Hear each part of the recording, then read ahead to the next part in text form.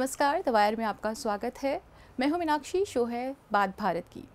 भारत की बात हो रही है, भारत के युवाओं की बात हो रही है। नेता लगातार युवाओं को अपने भाषणों में जगह दे रहे हैं, पर देश का युवा क्या कर रहा है? देश का युवा पढ़ाई कर रहा है। पढ़ाई करने के बाद नौकरी की तैयारी कर रहा है, पेपर दे रहा है। पेपर देने के बाद में उसे पता चल रहा है, पेपर लीक हो गया है, पेपर में अनियमितता हो गई है और फिर वो प्रदर्शन कर रहा है। प्रदर्शन करने के बाद सरकार कभी कभार जाँच समितियों का गठन कर रही है, उसके बाद जाँच रिपोर्ट्स आ रही हैं, पर उसके बाद क्या हो रहा है? ये लगातार हम दवायर पे एक सीरीज़ कर रहे हैं, जिसमें हम जितने पेपर लीक्स और भर्ती घोटाले हो रहे हैं, उन पर काम कर रहे हैं। हमारे साथ इस वक्त इस बारे में बात करने के लिए स्टूडियो में मौजूद हैं दवायर हिंदी के रिपोर्टर अंकित राज।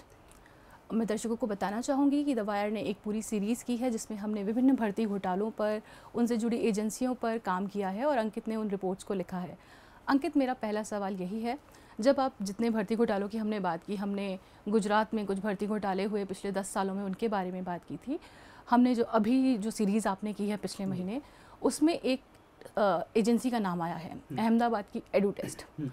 हम बात करते हैं पेपर लीक हो रहा है अनियमितता हो रही है और उस सब की जिम्मेदार एक एजेंसी है जिसको पेपर कराने का ठेका दिया गया है। हम्म। ये क्या मसला है? क्या है एडू टेस्ट ठीक है। एडू टेस्ट अभी हाल में तब चर्चा में आया जब पिछले महीने जून में बीस जून को उत्तर प्रदेश सरकार ने एडू टेस्ट को बैन कर दिया अपने यहाँ क्योंकि वो जो कांस्टेबल भर्ती परीक्षा थी उसमें अनियमितता सामने आई थी और स्टूडेंट प्रोटेस्ट कर रहे थे लगातार उसे लेके।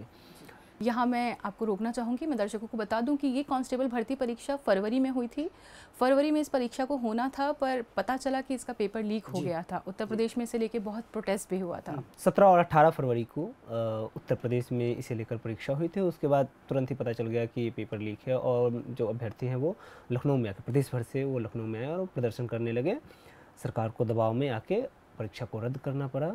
साथ ही अब जाके जून में उस कंपनी को भी ब्लैकलिस्ट किया गया जिसने पूरी परीक्षा को आयोजित करवाई थी। कंपनी का नाम एडुटेस्ट है, अहमदाबाद की कंपनी है और उन्नीस सौ इक्यासी से ये लगातार काम कर रही है। ये क्वेश्चन पेपर छापने और परीक्षा आयोजित करने कंप्यूटर बेस्ड जो टेस्ट होते हैं, वो सब आयोजित करने का काम ये करती है। इनका दावा है कि इन्होंने 113 करोड़ परीक्षाएँ करवाई हैं।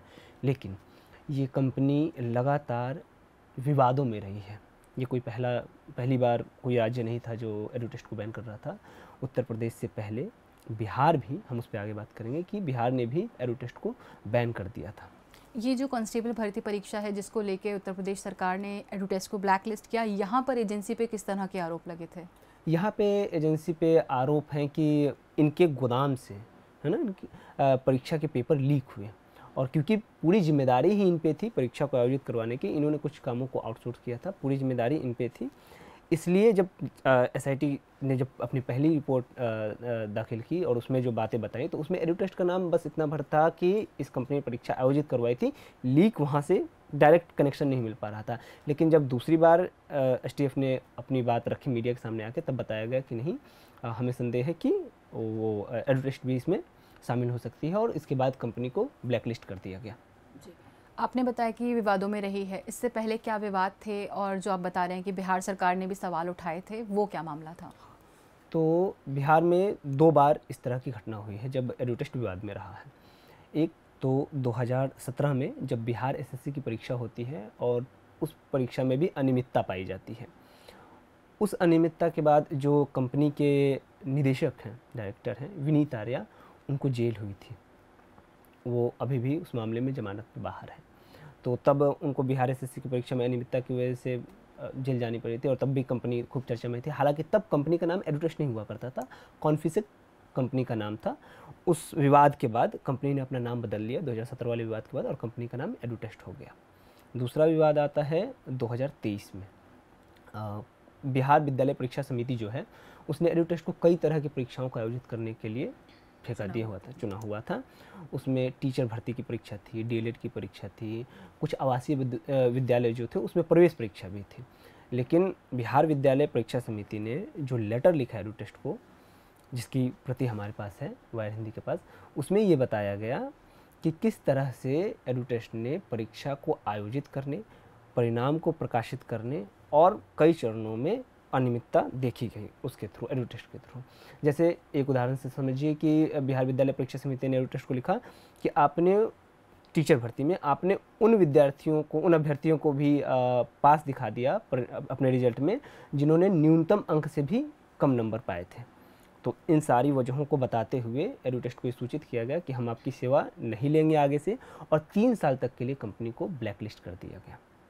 तो बिहार से उत्तर प्रदेश से पहले ये बिहार में हो चुका। क्या उत्तर प्रदेश में ये आरक्षी भर्ती यानी कांस्टेबल भर्ती से पहले भी कोई परीक्षा हुई थी जिसमें एडू टेस्ट का नाम आया था या उसको लेकर सवाल उठे थे? हाँ लखनऊ में लखनऊ का एक अस्पताल है राम मनोहर लोहिया अस्पताल। उसमें नर्सिंग की नर्सों की भर्ती के लिए एक परीक्षा आयोजित की गई थी। उसमें भी अनियमितता सामने आई थी जिसके बाद एडू टेस्ट एक समिति बनी अस्पताल ने अपने स्तर पर एक समिति का गठन किया और उसने वो कहा कि कुल अठारह सेंटर्स पे दोबारा परीक्षा करवाई जाएगी और जो अभ्यर्थी हैं उनके आने जाने का खर्च एडो टेस्ट को ही देना पड़ेगा। तो इस तरह की पेनल्टी एक तरह से आप इसे कह सकती हैं कि एडो टेस्ट पर लगाया गया था। एक मामला जो पिछले दिनों सामने आया आपने इस बारे में भी रिपोर्ट की है C I C S I R का एग्ज़ाम जो है सी एस आई आर जो परीक्षा करवा रही है उसको लेकर सवाल उठे दो स्टेजेस में परीक्षा हुई उसमें भी एडो टेस्ट का नाम आ रहा है। ये कनेक्शन क्या है? हाँ तो उत्तर प्रदेश में ब्लैकलिस्ट होने के बाद हालाँकि बिहार में जब ब्लैकलिस्ट हुई थी कंपनी उससे एक दिन पहले ही सीएसआईआर का टेंडर एडोटेस्ट को मिल गया था। 19 अक्टूबर को दो हज़ार तेईस में 19 अक्टूबर को इसे सीएसआईआर को ये टेंडर मिला था कि उसे एसओ और ए की भर्ती के लिए परीक्षा आयोजित करवानी है जो परीक्षा दो स्टेज में होनी थी। इस टेंडर से मिलने इस टेंडर के मिलने के एक दिन बाद ही 20 अक्टूबर को बिहार में ब्लैक लिस्ट कर दिया गया था। तो इस वजह से इसे टेंडर तो मिल गया एडोटेस्ट को टेंडर मिल गया। जब ये परीक्षा आयोजित हुई स्टेज वन में चार सीटों पे कुल चार सौ सीटों के लिए ये परीक्षा होनी थी है ना? देश भर के कई जगहों पर। देश भर के कई सेंटर्स पे। तो परीक्षा आयोजित होती है लेकिन परीक्षा में बड़े पैमाने पे अनियमितता मिलती है। कैसे? जैसे हम उत्तराखंड में एक एफआईआर दर्ज होती है राजपुर में जहाँ पे बताया जाता है आठ तारीख को पुलिस पहुँचती है छापा मारती है और अंकित धीमान नाम के एक व्यक्ति को पकड़ती है और उनसे पूछताछ के दौरान ये पता चलता है कि उन्होंने सात को सात फरवरी को पहली पाली में, सुबह की पाली में जो परीक्षा हुई थी, स्टेज वन के लिए, उसमें सिवेन डबास नाम की एक जो महिला अभ्यर्थी थी, उनकी मदद की थी, चीटिंग करवाई थी बाकायदा। उन्होंने ये बात कही। इसी तरह से उत्तराखंड के ही डोईवाला में भी छापेमारी होती है और पता चलता है कि सर्वर रूम और जो लैब है वो कनेक्टेड है और चीटिंग करवाने की कोशिश की जा रही है। राजस्थान में भी बहरोड में, जब छापेमारी होती है, पुलिस छापे छापे मारती है तो उसे एक व्यक्ति मिलता है जो तीन चार लैपटॉप के साथ रिमोटली कंट्रोल कर रहा था अभ्यर्थियों के सिस्टम को और उनकी मदद कर रहा था तो चीटिंग का ये मामला भी सामने आया।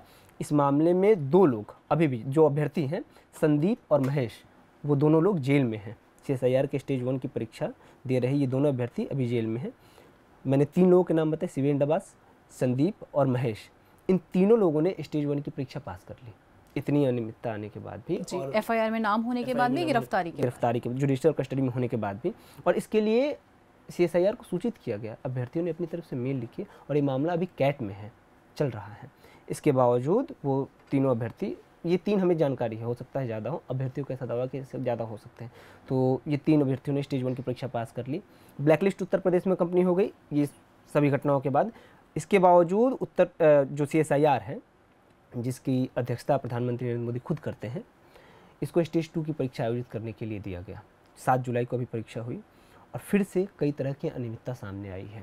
दिल्ली में जो सेंटर था, Vinayak digital zone, IP extension के पास, वहाँ पे हम गए, हमने पता किया, क्योंकि वहाँ के बहुत सारी वीडियोज़ आई अभ्यर्थियों ने हमें बताया कि किस तरीके से जब वो परीक्षा दे रहे थे तो 10 बजे की परीक्षा, जो परीक्षा 10 बजे डिस्क्रिप्टिव पेपर शुरू होना था, वो ग्यारह चालीस पे शुरू हुई। है ना? ये केंद्रीय एक संस्थान है उसकी परीक्षा में डेढ़ घंटे की देरी होती है। भर्तियों के लिए भर्ती के लिए जो परीक्षा होती है वही ग्यारह चालीस में परीक्षा शुरू होती है उसके बाद जो सीबीटी टेस्ट होना था उसमें भी कई तरह की परेशानी आई जैसे बच्चे जो हैं वो फ़ाइल अपलोड नहीं कर पा रहे थे इस तरह की समस्या। इस तरह परीक्षाओं में अंकित जब हम देख रहे हैं बहुत सारी अनियमितताएँ होती हैं और ऐसी परीक्षाएँ जब हम भारत के बारे में बात करते हैं तो सरकारी नौकरियों का जो चार्म है वो अलग है। लोग चाहते हैं उन्हें सरकारी नौकरियाँ मिलें। पढ़ाई का एकमात्र उद्देश्य है नौकरी पाना। इन सब के बाद ये जिस तरह से पेपर लीक सामने आते हैं, अनियमितताएँ सामने आती हैं, इनका स्टूडेंट्स पे क्या असर होता है, विद्यार्थी कैसे सोचते हैं? स्टूडियो में आज हमारे साथ दिल्ली यूनिवर्सिटी की शिक्षिका डॉक्टर माया जॉन भी मौजूद हैं। आपका स्वागत है। मैम, आपसे मेरा यही सवाल है कि जैसा मैं अंकित से बात कर रही थी कि स्टूडेंट्स जो हैं एंड गोल उन्हें बचपन से यही बताया जा रहा है कि तुम्हें पढ़ाई करनी है और एक नौकरी पानी है। ख़ास तौर पे अगर हम उत्तर भारत से मैं भी आती हूँ, हम सभी उत्तर भारत में देखते हैं, सरकारी नौकरियों के लिए अलग तरीके का एक माहौल होता है कि सबको गवर्नमेंट सर्विस या गवर्नमेंट जॉब में जाना है। बतौर शिक्षक जब आप देखती हैं कि शिक्षा की ये दशा और ख़ास तौर पे पेपर लीक और भर्ती घोटालों के मामले में, आपको क्या लगता है ये छात्रों को किस तरह से प्रभावित कर रहा है और शिक्षा को लेकर जो उनका दृष्टिकोण है, उनका जो भी नज़रिया है, वो क्या बदल रहा है इस तरीके के माहौल में?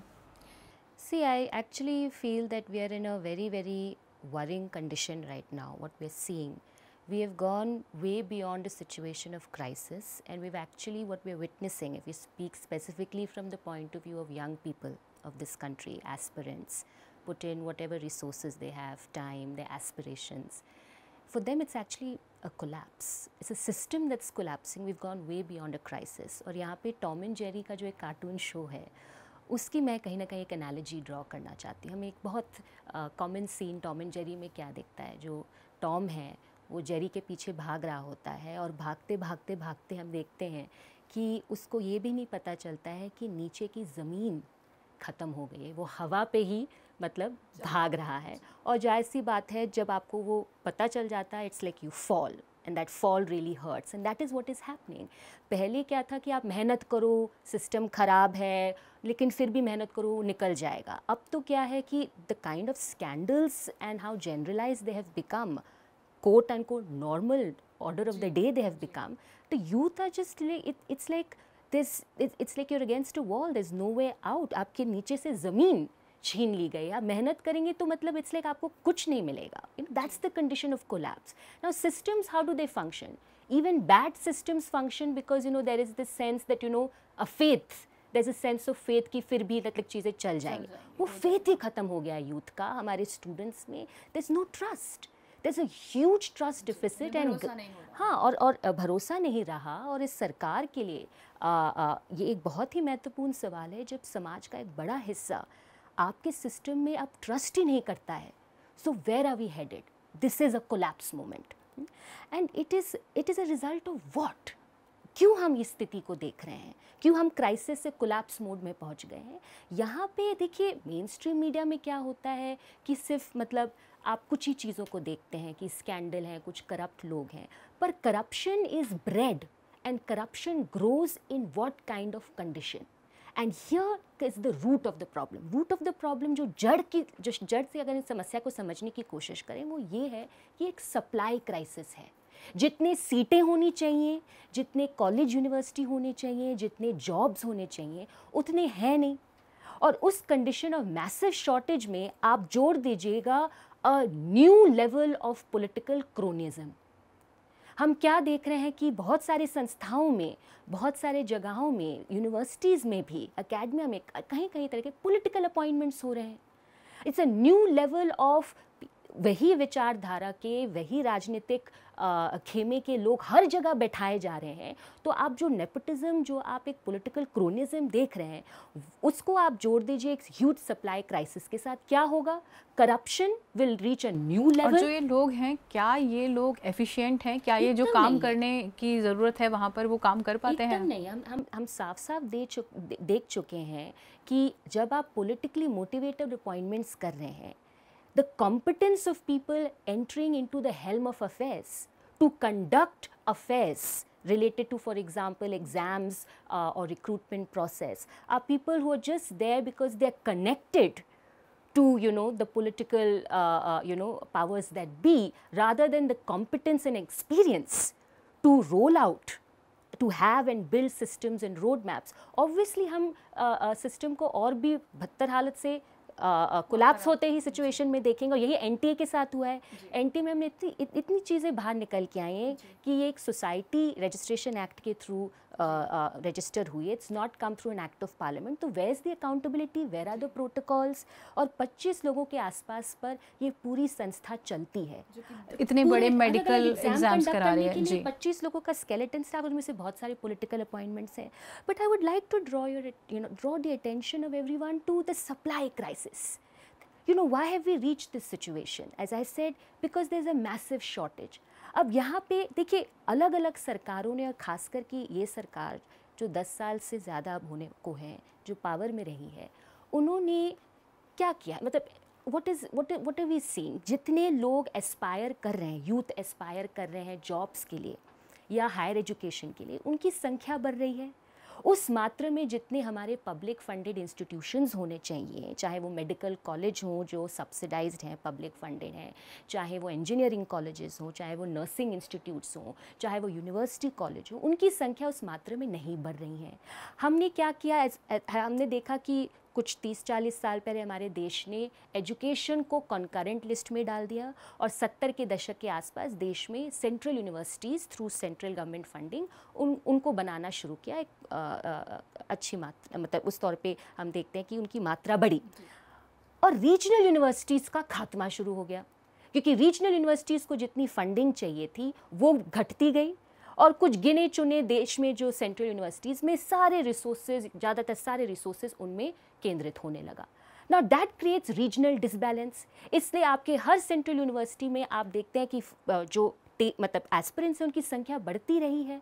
लाखों के नंबर्स में एस्पिरेंट्स अप्लाई कर रहे हैं। नीट का जो एग्ज़ाम हुआ था आ, इसी साल उसमें 24 लाख लोगों ने फॉर्म फिल किया सीट कितनी है मेडिकल की भारत में?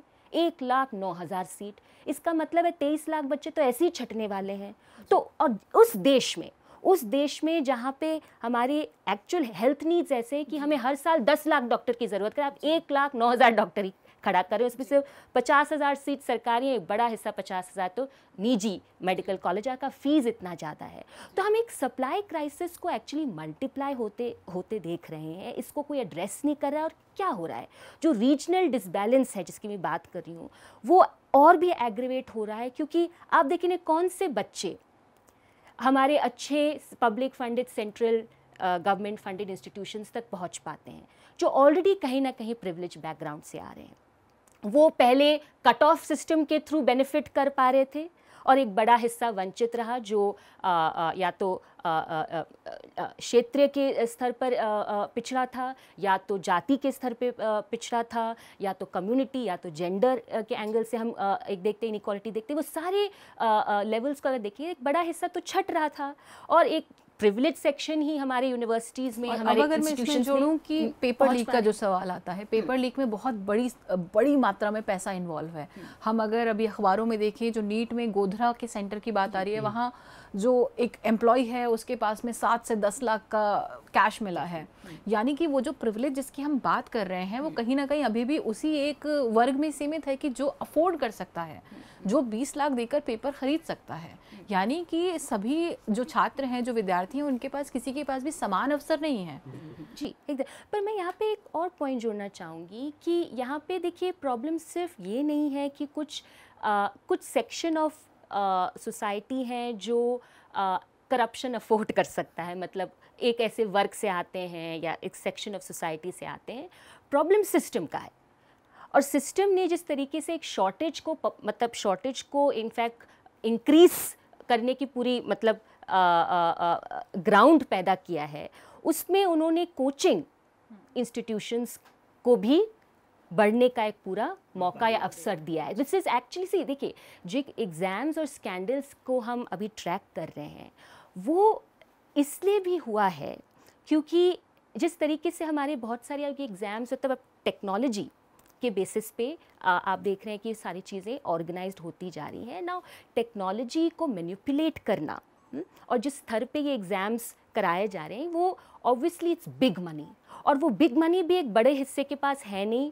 इनफैक्ट मतलब एफ्लुएंट सेक्शन के लिए भी बहुत बार ये मुश्किल होगा. इसलिए हम देख रहे हैं कोचिंग इंडस्ट्री का एक बहुत बड़ा कोचिंग सेंटर्स कोचिंग के किंग पिंग्स के माफिया इनफैक्ट उनके पास ये पैसा है कि वो टेक्नोलॉजी का मैनिपुलेट पेपर ले लें खरीद लें और फिर वो बेचते हैं इंडिविजुअल्स को जिनको उनको पता है कि वो आ, वो वो उनको टैप कर सकते हैं। तो पहले मैं बस ये पॉइंट करेंगे कि पहले जो है कोचिंग का जो सिस्टम था इंडस्ट्री था कैसे काम करता है कुछ साल पहले का क्या था कि वो आ, बहुत सारे बच्चों को अच्छे बच्चों को एक तरीके से अट्रैक्ट करने की कोशिश करते पैसा देते थे कि हम आपका नाम यूज़ करके दिखाएँगे कि आपने क्लियर किया है एग्ज़ाम अब क्या हो रहा है कि एक बड़ा हिस्सा यूथ को बताया जा रहा है कि आप हमें पैसा दो हम आपको डॉक्टर बनाएँगे जैसे आपने कहा। तो now we with this is happening also because of a very important player and this is because our education policy ने इस तरीके से एक shortage supply side crisis create किया और उसमें फिर माफिया बढ़ता है।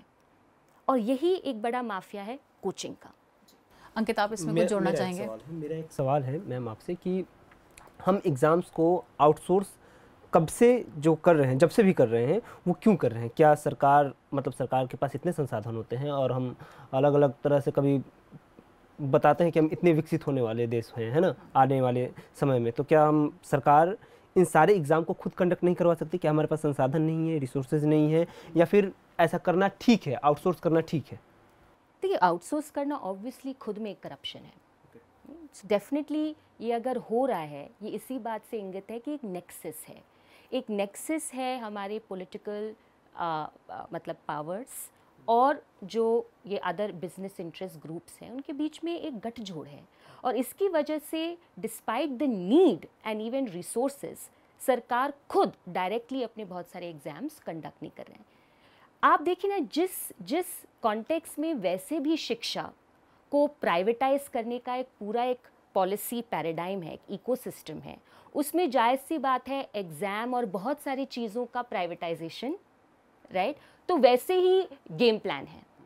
तो मतलब खास करके इस इस सरकार ने एक्चुअली इस पूरे ट्रेंड को कंसोलिडेट किया है उसको एक नए हाइट पे मतलब पहुँचाया है which is allow private players through various forms be it outsourcing be it other things तो इसलिए this is and what does it help do it helps of course divert from the major issue कि सरकार को अपनी resources ज़्यादा college ज़्यादा universities ज़्यादा medical institutions ज़्यादा इंजीनियरिंग इंस्टीट्यूशंस ज़्यादा जॉब्स क्रिएट करने में लगाना चाहिए। ना कि किसी प्राइवेट कंपनी को कॉन्ट्रैक्ट देकर हर साल उनसे कुछ दस एग्ज़ाम कराने। ये मैं इसमें वही बात जोड़ूँगी जो आपने कहा कि एक माहौल तैयार कर दिया एक ग्राउंड तैयार कर दिया गया है जिसमें लूप होल्स ही लूप होल्स हैं जब आप बात कहते हैं आउटसोर्सिंग की आउटसोर्सिंग के बाद में जब हमने जो नीट के एग्ज़ाम में गोधरा का सेंटर है गोधरा के सेंटर में जो भी गिरफ्तारियाँ अभी हो रही हैं, उसमें जो भी मीडिया रिपोर्ट्स में सामने आया है, वो ये है कि वहाँ एक कोचिंग सेंटर इन्वॉल्व है उसमें। जिस कोचिंग सेंटर ने, जिस जिस जगह नीट के एग्ज़ाम का सेंटर पड़ा है, वहाँ का स्टाफ और वो सब लोग मिली भगत है और वहाँ कैश का लेन देन हुआ है। तो जो बात आप कह रहे हैं, मैं उसे वहाँ पर बिल्कुल अगर देख कर उसे परखा जाए वहाँ पर तो वो बिल्कुल सही है कि आपने एक एजेंसी को दिया है काम और एजेंसी की ईमानदारी के ऊपर दिया है, उसकी योग्यता थी या नहीं थी हमें नहीं पता। पर ऐसी चीज़ें लूपहोल्स तैयार करती हैं। आप अनियमितता होने के लिए आप दे रहे हैं अवसर कि हाँ आप आइए यहाँ अनियमितता करिए। तो हम कोई रोग क्रिएट कर रहे हैं और फिर इलाज ढूंढ रहे हैं। जबकि हम उस वो कंडीशन पैदा होने नहीं दे सकते सरकार के एंड पे अगर हम बात करें तो। मैं इस, इस पे यही रिस्पॉन्ड करूँगी। देखिए आप और भी कुछ अच्छी एग्ज़ाम सिस्टम इवॉल्व करने के लिए कोशिश भी करें और कर भी लें कुछ और भी बेहतर एग्ज़ाम जैसे लेट से ठीक है सरकार को हम इतना प्रेशराइज कर दें कि वो खुद एग्ज़ाम कंडक्ट कराएँ ठीक है? And through properly you know regulated agencies right दिक्कत फिर भी नहीं जाएगी ना कि इंटेंस कट थ्रोट कॉम्पिटिशन तो वही रहेगा और जहाँ पे कंपटीशन रहेगा वो संभावना हमेशा रहेगी करप्शन की राइट और इसलिए ये एक बहुत ही इम्पोर्टेंट सवाल फंडामेंटल सवाल ये है कि क्या हमारी शिक्षा नीति इस क्राइसिस को एड्रेस कर रहा है कि जितनी ज़रूरत है उसी के प्रपोर्शन में आप एक्चुअली रिसोर्सेज अपॉर्चुनिटीज़ क्रिएट कर रहे हैं अगर आप नहीं कर रहे हैं तो आप बहुत अच्छा कट ऑफ़ सिस्टम भी अवॉइड कर लिए। कट ऑफ़ तो होगा नहीं एक हिस्सा। आप जितना अच्छा एग्ज़ाम करवा देंगे लेकिन एक हिस्सा ही क्लियर कर पाएगा ना एक हिस्सा को ही सीट मिलेगी ना। बाकी बच्चों का क्या? बाकी बच्चों का आप ढकेल देंगे ओपन एंड डिस्टेंस लर्निंग में। ये ये रियलिटी है हमारे देश की। जो लाखों बच्चे बारहवीं एग्ज़ाम दे भी पाते चाहे वो चाहे वो रीजनल बोर्ड्स हों चाहे वो सीबीएसई बोर्ड का बारहवीं एग्ज़ाम परीक्षा देते हैं आ, पास हो भी जाते हैं लेकिन क्या होता है ना बारहवीं के बाद एक बड़े हिस्से भारत युवाओं की तेरहवीं हो जाती है। क्या हो जाता है? एक बड़े हिस्से को चाहे वो कट ऑफ़ सिस्टम के थ्रू अप्लाई करने की कोशिश नहीं मिलता है एडमिशन चाहे वो मेहनत करके कोई एंट्रेंस एग्ज़ाम करने की कोशिश करे या रिक्रूटमेंट एग्ज़ाम क्लियर करने की कोशिश करे वहाँ पे छटनी हो जाती है तो वो करते क्या है? कुछ ना कुछ तो करना पड़ेगा घर में बैठा नहीं रहे एक बड़ा हिस्सा जो हमारे जो बड़ी बड़ी यूनिवर्सिटीज़ हैं गवर्नमेंट फंड वहाँ के एसओएल स्कूल मतलब उस टाइप के जो ओपन डिस्टेंस लर्निंग मोड हैं उनमें एनरोल हो जाते हैं और मतलब कुछ कुछ जॉब करने की कोशिश करते हैं इंटर्नशिप क्योंकि पीपल हैव टू सर्वाइव अब क्या स्थिति है हमारी ओपन एंड डिस्टेंस लर्निंग या इनफॉर्मल मोड एजुकेशन बदतर स्थिति है। निग्लेक्ट है करप्शन है वहाँ पे। देखिए करप्शन हमें कुछ कुछ ही टाइप का करप्शन दिखता है। हमें ये करप्शन नहीं दिखता कि हम अपने देश में लाखों बच्चों को सबस्टैंडर्ड मटेरियल दे रहे हैं अपने पत्राचार माध्यम में जहाँ पे भारत की आज़ादी कौन से साल में हुई थी वो गलत लिखा हुआ है। महात्मा गांधी का स्पेलिंग गलत लिखा हुआ है। आ, हिंदी ट्रांसलेशन में जो मटेरियल है वो सीधा गूगल ट्रांसलेट में आपने कट कॉपी पेस्ट करके गलत छापा है। तो क्या ये करप्शन नहीं है? तो corruption is bred by conditions of shortage where the system is denying majority people the opportunities they deserve.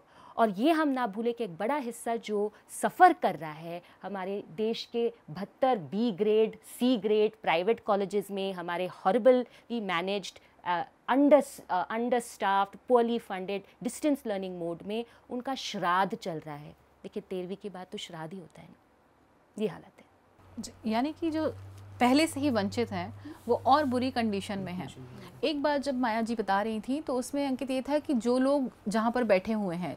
वो वहाँ योग्यता की वजह से या कनेक्शन की वजह से जब आप अपनी रिपोर्ट की बात करते हैं जब हम इन एजेंसियाँ जिनको ठेका मिल रहा है इनकी बात कर रहे हैं ये ब्लैक लिस्टेड हैं पर इनको ठेके मिल रहे हैं। क्या यहाँ पर आप जिस तरीके कनेक्शन का इशारा कर रही हैं माया जी आप उसको पाते हैं अपनी रिपोर्टिंग में अपनी पड़ताल में हाँ, कहीं देखिए हम जो रिपोर्ट एडोटेस्ट को लेके कर रहे थे तो हम ये जानने की कोशिश कर रहे थे कि लगातार ब्लैकलिस्ट होने अलग अलग अनियमितता में शामिल होने अलग अलग तरह के आरोप लगने के बावजूद इस कंपनी को इतने सारे टेंडर क्यों मिल रहे हैं? और आप जानिए कि इस कंपनी के पास ये किन लोगों के एग्ज़ाम करवा रही है? इनके पास कैसे कैसे टेंडर्स है? ये हरियाणा एसएससी के एग्ज़ाम करवा रही है, गुजरात लॉ लॉ यूनिवर्सिटी के एग्ज़ाम करवा रही है, छत्तीसगढ़ शासन में ये एग्ज़ाम्स करवा रही हैं, पावर ग्रिड के एग्ज़ाम करवा रही हैं। है ना? ये इनके एग्ज़ाम्स कंडक्ट करवा रही हैं। इनके पास क्लाइंट्स की कमी नहीं है। और जब हम इन्हें ढूंढते हैं ट्रैक करते हैं तो पता चलता है कि जो एडुटेस्ट के संस्थापक हैं सुरेश चंद्र आर्या वो 2016 में आर्य समाज के की एक बॉडी है सार्वदेशिक प्रतिनिधि आर्य सभा जो आर्य समाज के जो अंतर्राष्ट्रीय स्तर के जो कार्यक्रम होते हैं, देश में भी और विदेश में भी, जो सम्मेलन होते हैं, उनको आयोजित करती है, उसकी देखरेख करती है और आर्य समाज में भी इनका इन्वॉल्वमेंट रहता है। ये गुजरात के ही हैं, अहमदाबाद में ही रहते हैं और जब ये कोई कार्यक्रम करते हैं तो डायरेक्ट ये गुजरात के राज्यपाल से मिलते हैं और फिर ये बीजेपी नेताओं से मिलते हैं, उनको आमंत्रित करते हैं। 2018 में चार दिन का अंतर्राष्ट्रीय आर्य महासम्मेलन आयोजित किया गया था, जिसके उद्घाटन समारोह में खुद राष्ट्रपति पहुँचे थे, रामनाथ कोविंद तत्कालीन राष्ट्रपति पहुँचे थे। इसके अलावा बीजेपी के कई दिग्गज नेता पहुँचे थे, केंद्रीय मंत्री पहुँचे थे, राजनाथ सिंह पहुँचे थे, नितिन गडकरी पहुँचे थे, मनोज तिवारी पहुँचे थे, मीनाक्षी लेखी पहुँची थी, कई मुख्यमंत्री पहुँचे थे, योगी आदित्यनाथ पहुँचे थे मनोहर लाल खट्टर पहुँचे थे, ये सारे लोग पहुँचे थे। और मंच पे इन सब, सभी लोगों का स्वागत कौन कर रहे थे? सुरेश चंद्र आर्य कर रहे थे। सब लोग अपने भाषण में किसका ज़िक्र कर रहे थे? सुरेश चंद्र आर्य का ज़िक्र कर रहे थे। मतलब वो प्रमुखता से वहाँ मौजूद थे और उन लोगों के साथ उनका उठना बैठना था ऐसे करीबी दिख रहा था है ना? फिर 2023 में स्वाम दयानंद सरस्वती की दो जयंती पर दिल्ली में एक बड़ा कार्यक्रम आयोजित किया जाता है। उसके उद्घाटन समारोह में कौन पहुँचते हैं? उसके उद्घाटन समारोह में खुद प्रधानमंत्री नरेंद्र मोदी पहुँचते हैं। फिर वही सारे कैबिनेट मंत्री फिर वही सारे कैबिनेट मंत्री होते हैं उनके साथ में। प्रधानमंत्री जब मंच से संबोधित करते हैं तो गुजरात के राज्यपाल के बाद वो सर्वदेशिक आर्य प्रतिनिधि सभा के जो सुरेश चंद्र आर्य हैं उनका ज़िक्र करते हैं उनका नाम लेते हैं। दोनों लोग स्टेज पर एक दूसरे को नमस्कार करते हुए दिखते हैं। तो यानी कि हम कहीं ना कहीं अगर डॉट्स को आगे तक जोड़ते जाएँगे तो हो सकता है हमें कोई बहुत सीधा कनेक्शन मिल सकता जी बिल्कुल। और ऐसा नहीं है कि एकदम परिवार से कट ऑफ़ हो गए आर्य समाज से जुड़े हुए तो नहीं। परिवार से मिलते जुलते रहते हैं। एडुटेस्ट के ही एक कार्यक्रम में एडुटेस्ट का सीएसआर का एक कार्यक्रम था जिसमें सुरेश चंद्र आर्य को बुलाया गया था। वो पहुँचे उनके परिवार का ही कार्यक्रम वो पहुँचे थे कंपनी का ही कार्यक्रम था वो पहुँचे थे। वहाँ पे आनंदीबेन पटेल की जो बेटी थी अनार पटेल हैं वो मौजूद थी। आनंदीबेन पटेल पूर्व मुख्यमंत्री हैं पूर्व मुख्यमंत्री गुजरात की है ना? उनकी बेटी मौजूद थी सुरेश चंद्र आर्या को वो गेस्ट ही थे विनीत आर्या थे जो यानी कि जो प्रभावशाली जो पॉलिटिकल हम देख रहे हैं कनेक्शन वो दिख रहा है हमें हाँ। कि हाँ इनकी एक सत्ता में जो पार्टी है उसके नेताओं के साथ उठना बैठना है। ये देश के सबसे बड़े नेता के साथ उठ बैठ रहे हैं। हम डायरेक्ट ये नहीं कह सकते नहीं। कि नहीं कि कोई कनेक्शन नहीं है। हम्म। हम अगर आगे पड़ताल होती है आगे पत्रकार पड़ताल करते हैं या किसी भी तरह की हम आगे जाते हैं तो जो बात आपने कही कि कनेक्शन जैसी चीज़ जो हमें दिखाई पड़ती है और जैसा कि एडोटेस्ट के मामले में खासकर अगर हम बात करें लगातार सवाल उठ रहे हैं उस एजेंसी पे खुद राज्य सरकारें जो है उसे ब्लैकलिस्ट कर रही हैं बावजूद इसके केंद्र सरकार का एक संस्थान है जिसकी परीक्षा वही ब्लैकलिस्ट कंपनी करा रही है। जी। आखिरी सवाल है मेरा जब हम आप बतौर जैसे हमने जहाँ से शुरुआत की थी मैं वहीं आती हूँ वापस से जो उच्च शिक्षा की हम बात करते हैं, जो पढ़ाई की हम बात कर रहे हैं उच्च शिक्षा में, जब संस्थानों के लेवल पर हम बात करते हैं, जैसे शिक्षा नीति की, आपको क्या लगता है कि या ये जो हमारी सरकार है वर्तमान, इसकी शिक्षा को लेकर तवज्जो क्या है? जिस तरह की नीतियों की हम बात कर रहे हैं, हम लोगों ने देखा कि एजुकेशन पॉलिसी को लेकर जिस तरह की क्रिटिसिज्म हुआ, उसके बावजूद कोई फ़र्क नहीं आया, समान अवसर की हम बात करें सीटें बढ़ाने की बात करें शिक्षा को लेकर आप आप बतौर टीचर, आप इतने सालों से पढ़ा रही हैं, आप क्या देख पाती हैं इस आ, सरकार का रवैया डायरेक्ट शिक्षा को लेकर आप उसे किस तरह पाती हैं? देखिए एक तो इनके एजुकेशन पॉलिसी का एक मेन जो एक कैरेक्टरिस्टिक है वो है कि निजीकरण को आ, बढ़ावा देना। आ, इस तौर पे कि वो आ, अलग अलग यू नो एक्ट्स के थ्रू पूरी कोशिश कर रहे हैं कि जो प्राइवेट सेक्टर है और प्राइवेट इन्वेस्टमेंट का जो स्कोप है आ, शिक्षा में आ, उसको और भी बढ़ाया जा सके वो स्पेस ज़्यादा मिले प्राइवेट इन्वेस्टर्स को प्राइवेट फॉरेन यूनिवर्सिटीज़ को भी। तो उस तरीके से अगर आप नेशनल एजुकेशन पॉलिसी 2020 के भी बहुत सारे प्रोविजंस को ध्यान से देखेंगे उस उसका एक एकमात्र एक दिशा यही है कि आप आ, कैसे प्राइवेट इंटरेस्ट को प्राइवेट सेक्टर को स्पेस दें। और उसका मतलब क्या है कि सरकार धीरे धीरे विड्रॉ करे हायर एजुकेशन सेक्टर से। और इसलिए हम देख रहे हैं कि इस सरकार के ही पिछले दस साल के पीरियड में हमें ऑटोनमी का एक पूरा एक you know policy framework norm of the day बनते हुए दिखा है कि यूनिवर्सिटीज़ को हम ग्रेडेड ऑटोनमी दे रहे हैं। हम चाहते हैं कि ये खुद मतलब अपने बल पे धीरे धीरे नेक्स्ट फिफ्टीन ईयर्स में खड़े हो जाएँ। हीफा जैसे संस्थान आ, आ, आ, बनाए गए हैं।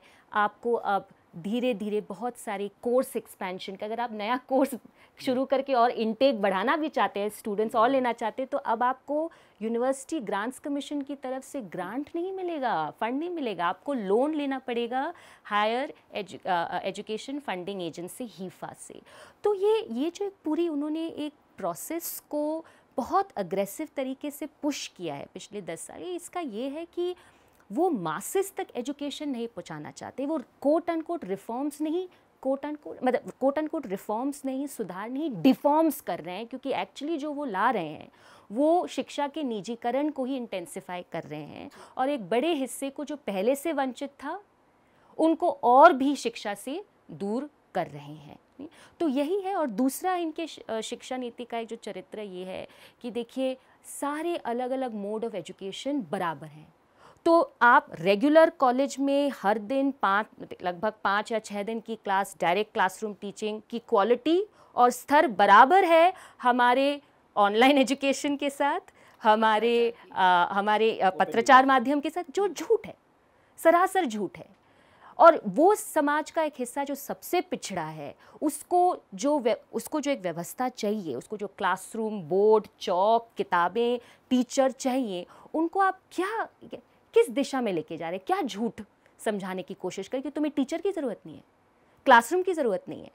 जिस देश में अभी तक लोग अपने बहुत सारे घर को चलाने के लिए खर्चे नहीं पूरा कर पा रहे, आप उन्हें बोल रहे हैं कि मोबाइल खरीद लो स्मार्टफ़ोन और वाईफाई ले लो, और ऑनलाइन क्लास करो, और वो बराबर होगा compare to getting in to Stephen's college और जेएनयू क्या झूठ फैला रहे हैं आप? तो ये है एक्चुअली इनकी रणनीति। There is no commitment towards public funded education or no commitment towards ensuring that the last youth in the line gets into the best institution. There's actually no commitment. यानी हम मान सकते हैं कि समान अवसर नहीं देना चाहती और सबसे बड़ी चीज़ है कि सरकार अपनी जवाबदेही से बचती नज़र आ रही है आप दोनों हमारे कार्यक्रम से जुड़े आपका बहुत बहुत धन्यवाद नमस्कार